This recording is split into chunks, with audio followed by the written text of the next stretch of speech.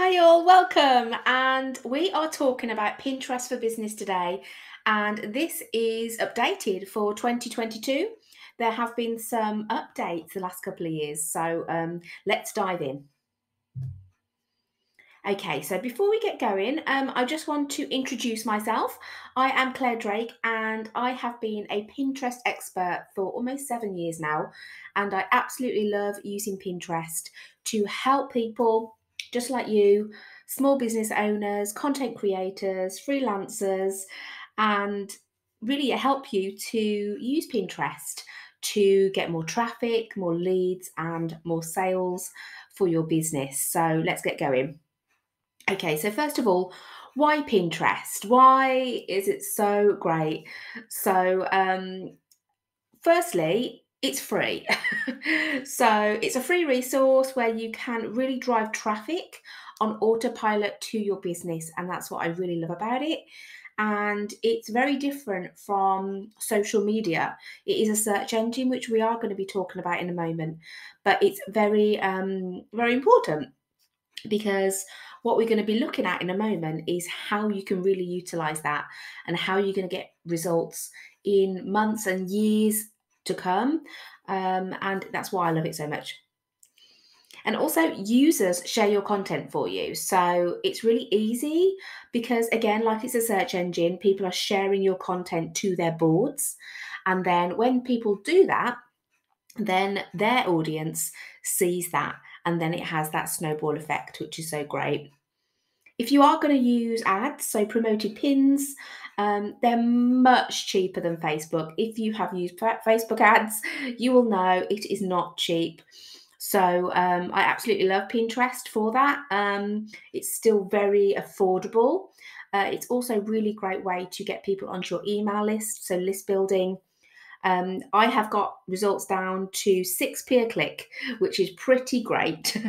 and um, if you know anything about Facebook, you know that it can you can be spending five pound plus on just one click. So it's just absolutely brilliant.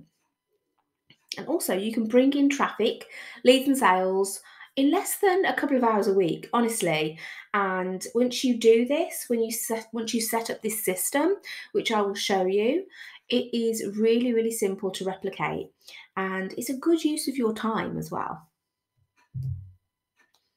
Okay, so let's get going on how Pinterest works. It could be that you know exactly how Pinterest works, but I just want to share this just in case you don't, so you know the process of how to use Pinterest for your business. So at the top, you will see create valuable content. Now, what that can mean is it can be a blog post. It can also be a freebie. So, your list building opt in, which I absolutely recommend. It's such a good way of getting people off Pinterest and onto your email list and into your community. So once you've created that piece of content, you have it housed somewhere on your website or on a landing page. Uh, then we're going to design pin graphics, um, video pins, and idea pins, which is something that we're going to be talking about in a moment, that direct people to that content. Uh, we are going to get them found. So, like I said, Pinterest is all about the keywords. So it's about researching the right keywords to include in your pin descriptions. So when someone is on Pinterest looking for this piece of content or something relating to it, your content will come up and get the click. So if it's relevant, um, which is something that we are going to be talking about, how to attract the right people to your account and your content if it is, oh my gosh, yes, I need this piece of content, I need this, I need this solution in my life, then they're going to click through to find out more. And that's what it's all about. and that is the traffic piece. And then you give the value. So you share a blog post, you share some ideas, you share a YouTube video, a tutorial, a um, a freebie, like I said. So um, it's great for email list building. And that is when you build your email list. So you direct people to your opt in page for that. Nurture them, email um, sequencing, sending people emails so you can really they can really get to know you which is really really important and then sell your offers in your business so your products and services like i said growing your email list should be your number one focus and we're definitely going to be diving into this because it is the simplest way to really use the platform strategically. And you don't need to be overwhelmed with all the things. So uh, let's dive in. So, first step is is getting up on Pinterest, getting your account up on Pinterest, getting it optimized. And so, what we want to do for that is we want to create an account that attracts your audience. Now, there are two ways of doing this. The first way is to attract and help your ideal audience. So you really need to know who you're talking to, who you help from your business perspective. The other way of doing it is showcase what you do and how you can help them. So, usually, that is um, advice, tips around your products and services.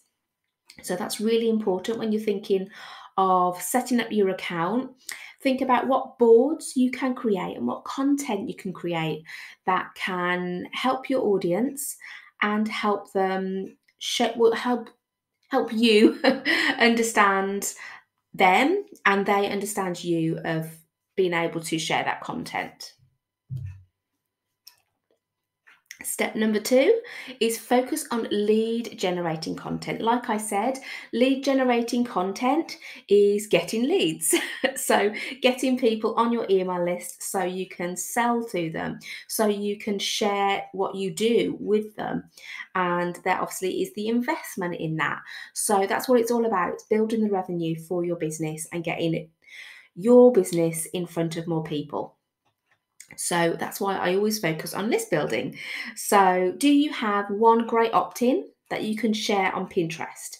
Can you just focus on that one thing and then create content that directs people to that? That is the simplest way of using Pinterest and getting results really quickly. Step number three is repurposing. I absolutely love repurposing. It means that you don't need to be creating content all the time.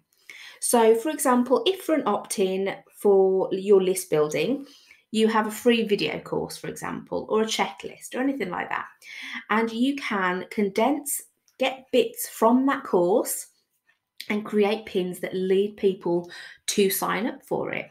So, for example, for this specific one, we're looking at static pins. I'm going to be going through all the different kinds of pins to create. These are static um, pins where they they come up in the feed. Um, they're not video. That's basically what I mean by static. So, um, for example, a life changing quote from the course that you're offering, um, a call to action post, grab this awesome free course, happy student quotes, and more of a how to. So, in this course, you're going to learn this, this, and this. Okay, so over the years, Pinterest has gone back and forth, but they've always loved new content more now than ever. And so there are three ways that you can share content on Pinterest. Firstly, like I've just talked about, is the standard static pin. And the standard static pin means it comes up in the feed in Pinterest and um, you can click on it. So you can click on the image. Um, there's a link below just on the image on the, on the kind of left hand side at the moment. They do like to change things up.